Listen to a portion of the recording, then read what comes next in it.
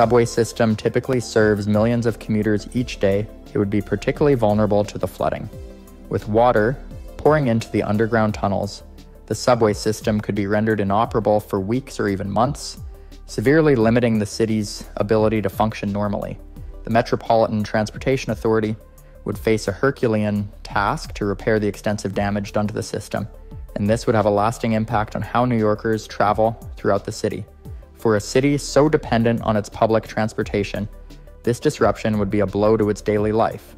In addition to the damage to the transportation network, New York's iconic high rise buildings would also suffer significant damage. Many of these buildings are constructed with glass facades, which would be easily shattered by the hurricane's fierce winds. The impact of the winds could cause windows to break and debris to fly through the air, creating dangerous conditions for those still on the streets. Some buildings, especially older structures or those located near the waterfront,